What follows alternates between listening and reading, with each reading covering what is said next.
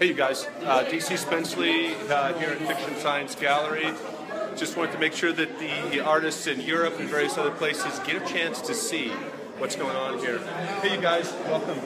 I'm DC Spensley. Let me know if you need any help with the artwork here. We got a. Uh, if you're interested in who did the work or something, let me know. What's that? It's outstanding. Yeah. Cool. Right on. See, you heard him. He said it was outstanding. Could you say that again for the?